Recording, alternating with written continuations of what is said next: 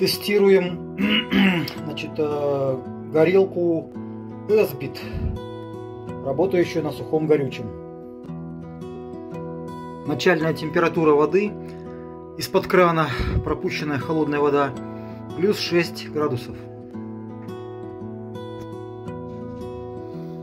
Так, зажгли, поставили, а, поставили,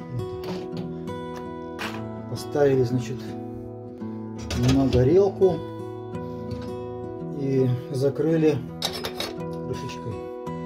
Так, время пошло.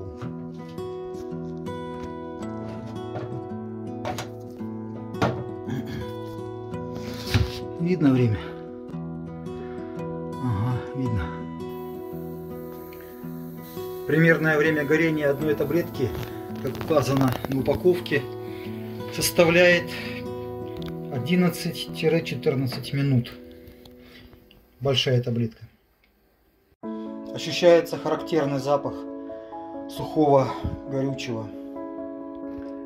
Языки пламени а, частично выходят через вот эти вот верхние отверстия горелки нижней части.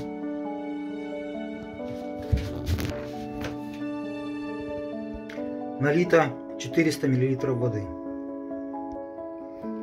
Прошло почти 9 минут. Таблетка уже догорает. И появился какой-то звук нагревающейся воды. Однако таблетка уже на исходе.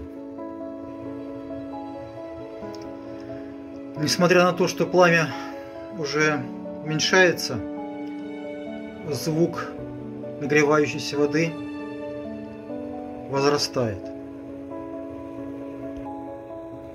12 минут прошло,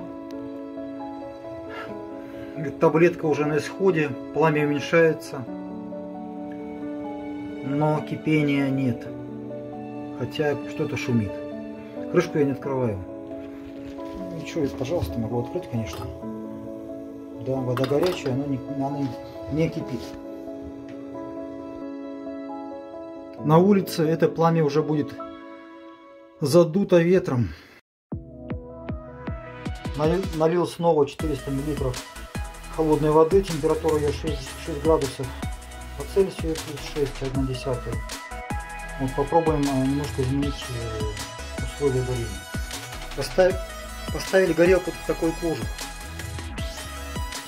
Это кожух из простой фольги кулинарной, плотной фольги, свернутой, по-моему, там 4 раза или 3 раза. Вот такое вот кольцо. Время пошло, я где-то на минуту опоздал, задержал включение таймера. Прошло 8 минут, вода зашумела.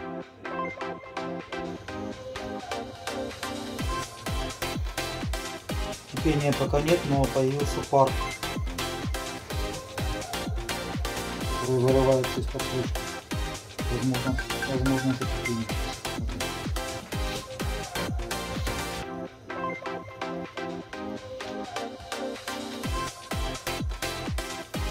Так, а что с таблеткой? плохо видно, но она кажется на сходе опять. Так, что там происходит? О, вода кипит. Чудо, вода кипит. Время закипания воды 10 минут. В идеальных условиях на кухне с использованием этого импровизированного крана. После этого сухого горючего остается толстая жирная копоть на дне чаши, вот, которая еще и пачкается. Вот она испачкала эту мойку поверхность.